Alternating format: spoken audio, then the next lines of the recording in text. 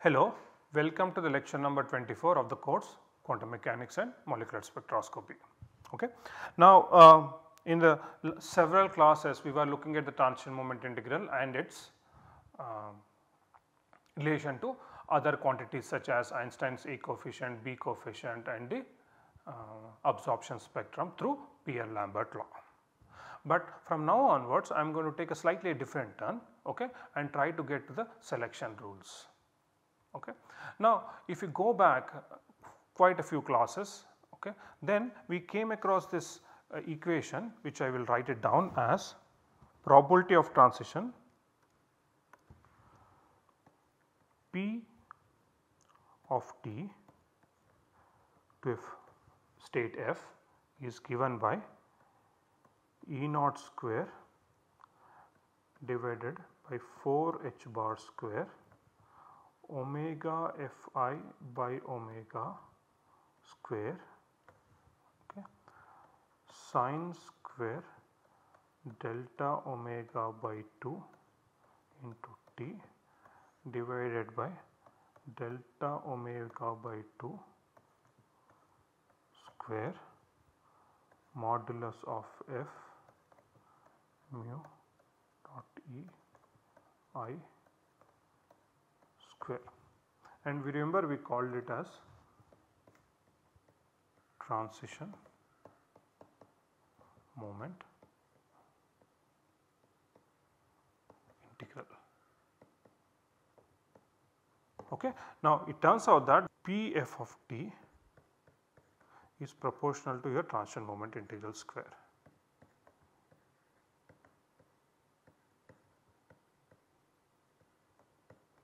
So, what are you doing here? You are going from a state i to state f. Okay. And we also related all this to you know Einstein's A coefficient, Einstein B coefficient and um, the extinction coefficient through Beer-Lambert law. We also looked at the line shapes. Okay. All these experimental quantities could be could be related to this. Now it turns out that if I slightly rewrite, so in the vicinity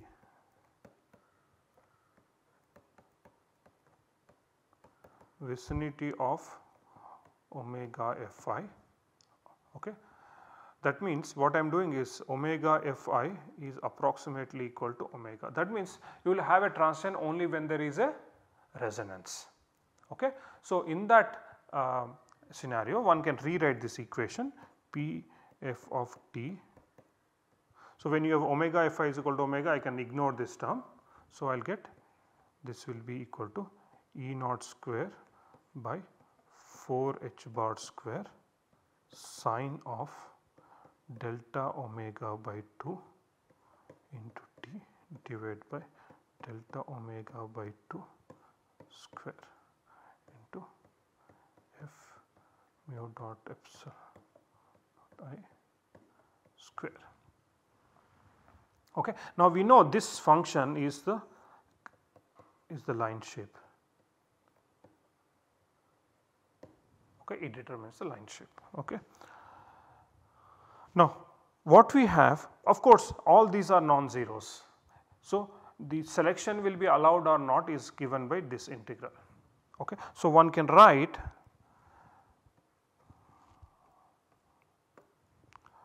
transition moment integral TMI is equal to f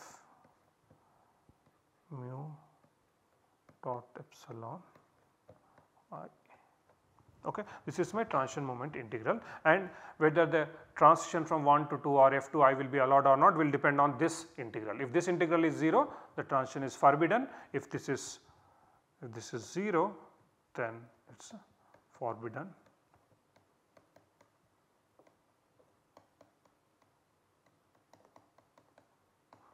This is not equal to 0 then you have allowed.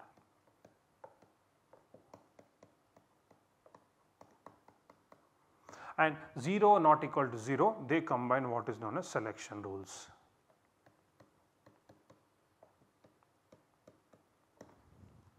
Okay. Now, now what we will do in this lecture is to look at this operator mu. What? Okay. Now let us think of okay, a molecule AB.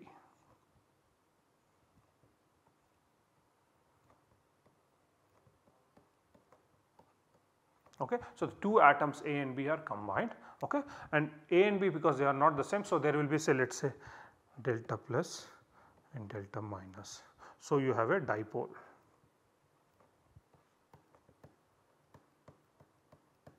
And if the distance equilibrium distance is R naught. So, for example, if you have a uh, AB molecule one can draw a potential energy surface like this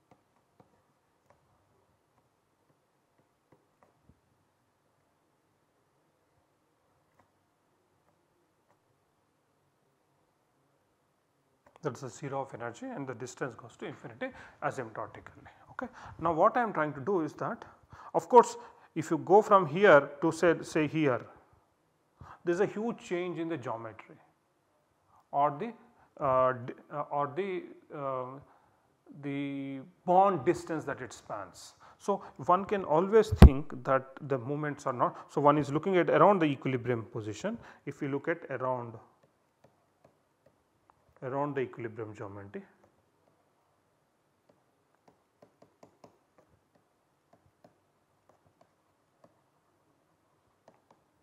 One can write mu as a Taylor series expansion.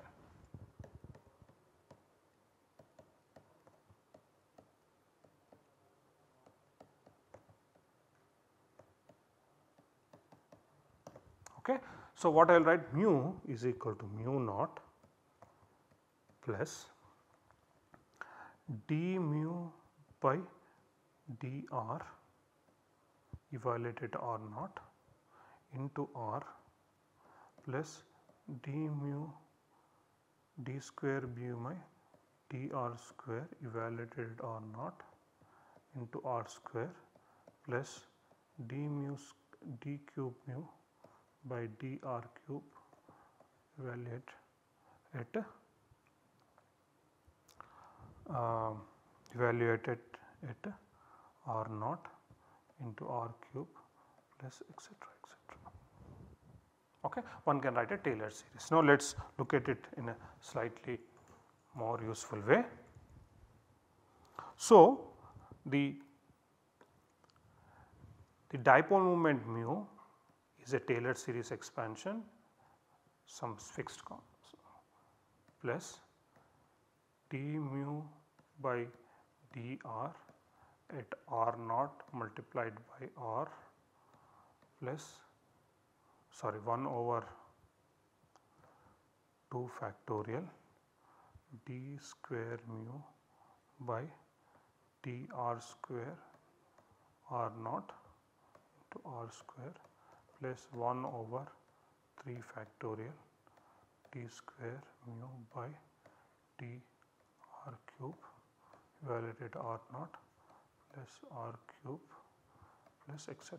So, this is how I can write my mu as a Taylor series expansion around the equilibrium geometry and this mu naught is the permanent dipole.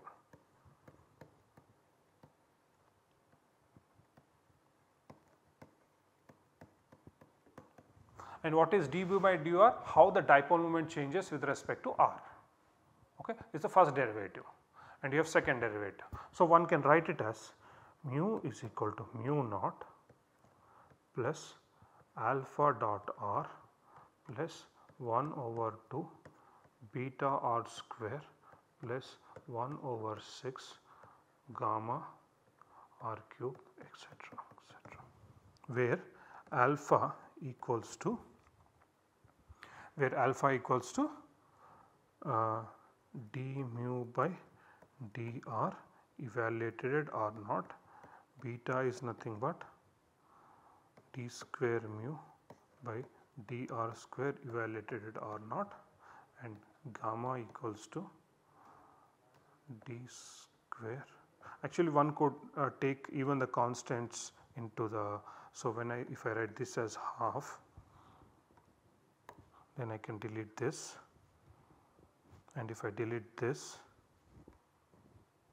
then one can write 1 over 6 d square mu by d r cube okay. So one can write such equation. So this is your permanent dipole this is the first derivative of mu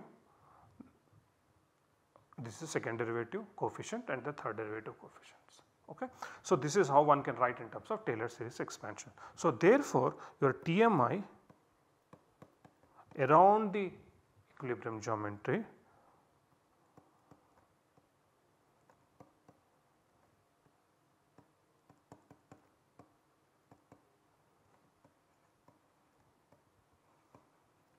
is given by f times mu naught plus alpha dot r plus beta r square plus gamma r cube plus etc etc.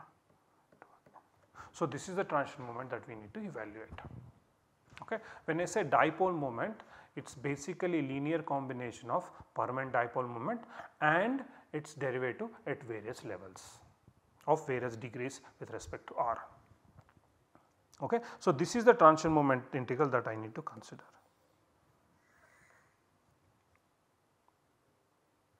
So, one can write therefore, one can write T m i is equal to f mu naught plus alpha r plus beta r cube plus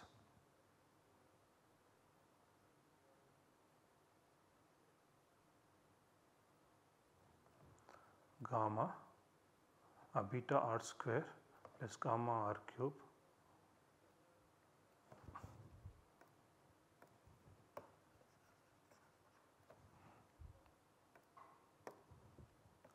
beta r square plus gamma r cube plus. So, that is a transition moment integral I am interested in. Okay. Now, let us look at this equations phi okay. So, what are my solutions? So, what are my solutions? I said H naught into I is equal to E i E i i and H naught into F is equal to EF.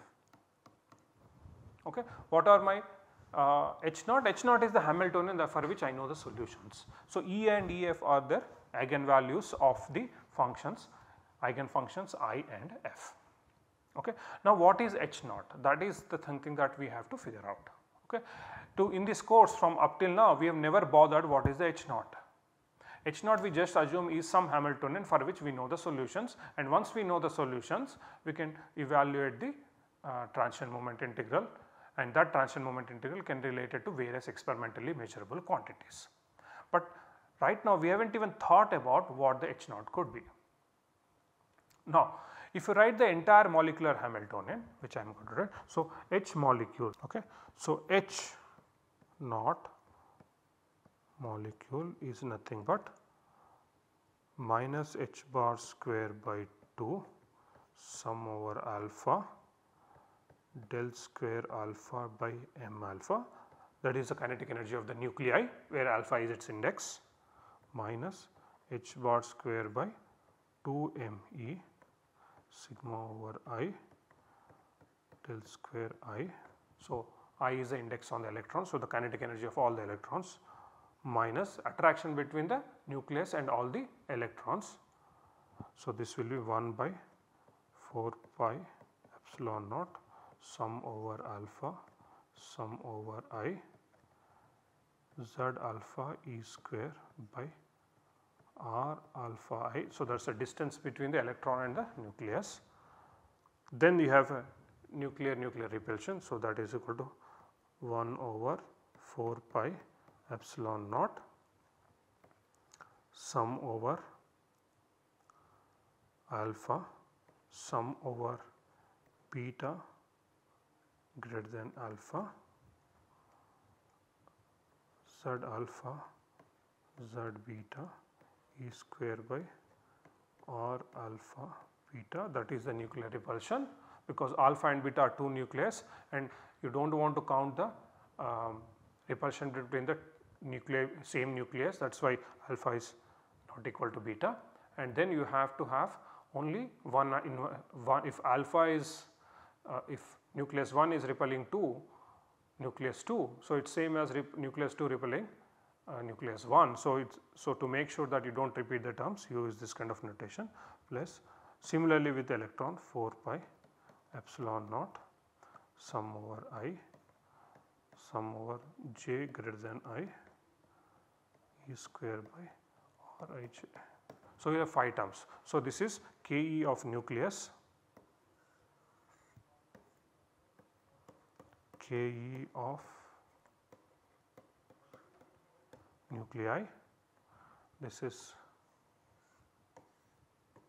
K e of electrons this is nothing but P e of electrons and nucleus that is attraction. This is what? P e of nucleus to nucleus that is repulsion and this is nothing but your P e of e. That is nothing but electron electron repulsion. H naught okay, of molecule multiplied by psi now which is a function of electrons and nucleus okay, should be equal to E n psi which is function of electrons and nucleus. Okay. Now it turns out that this is not a possible solution. So what we do is what we use something called Born Oppenheimer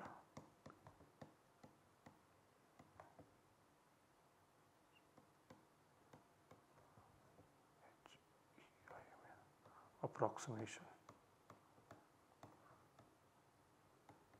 Okay. This approximation says that the total wave function psi of electrons and nucleus can be separated as chi of nucleus and phi of electrons parametrically dependent on nuclei. And the total Hamiltonian H naught can be written as H nuclei plus H. Okay. Now, it turns out that when I look at H nucleus, okay, the H nucleus even though uh, is this H nucleus the total energy is equal to H nucleus chi nucleus okay, uh, will give you E nucleus chi nucleus, but the total energy E is nothing but E uh, n plus E electron.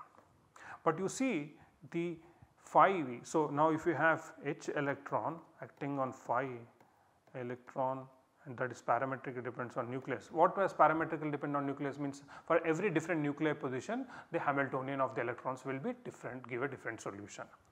So, that will nothing but E E plus phi. So, this E E also depends on nucleus because the wave function itself. So, if you take the total energy or the nuclear energy, nuclear energy is just not the repulsion, but it also kind of has the electronic component into it and that is called potential energy. Okay. So, E, so when you have PE that is nothing but you have E nucleus plus E electron. Okay. So, what you do is you can draw make a potential surface okay that is E.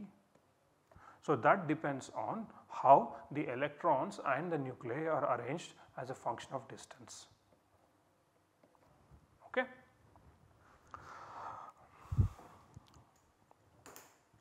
Now, okay. now one of the issues that we have is the following. So, when you have total wave function okay, which is when the total wave function psi of E comma n is nothing but chi of n into phi of E and parametrically depend on n. Okay. Now this is my uh, total solution okay and of course it will have its own quantum numbers. So what I am looking at is the following okay I am starting from a final function f. Now this f function okay could be written as the following uh,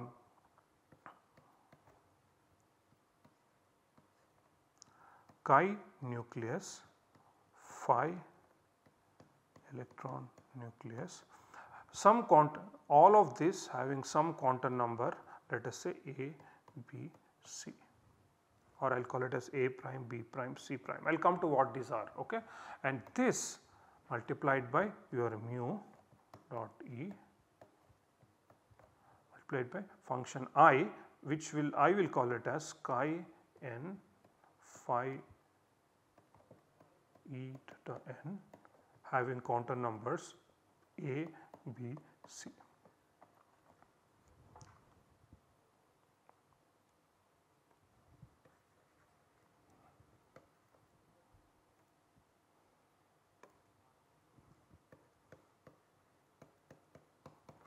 Okay. So, what I am trying to do here I am going from a single wave function initial wave function which will have quantum number A, B, C and these quantum number could involve uh, the nuclear quantum numbers or quantum numbers related to the nuclear motion and the quantum numbers related to the electronic motion and with some values A, B, C and I am going from there and changing my quantum numbers to A prime, B prime, C prime. Okay. Now what I am trying to do is the following I am going from one set of electronic and nuclear coordinates to a different set of electronic and nuclear coordinates and this transition is brought about by this operator. So, now we can think of it this way. So, this operator is really complicated in some sense is that um, chi n phi n e n whole thing of a prime b prime c prime mu naught plus r plus beta r square plus gamma r cube multiply chi n to phi e n whole thing of a b c. So, I am looking at such a transition moment integral. Okay. So, when I take the total wave function Okay. So, this is how we are uh, going to look at this transition moment integral, but of course, the way it is written it is almost impossible to solve. So, we have to make uh, right approximations to be able to solve this transition moment integral, uh, evaluate the transition moment integral and look at the selection rules which we will continue in the next lecture. Thank you. Música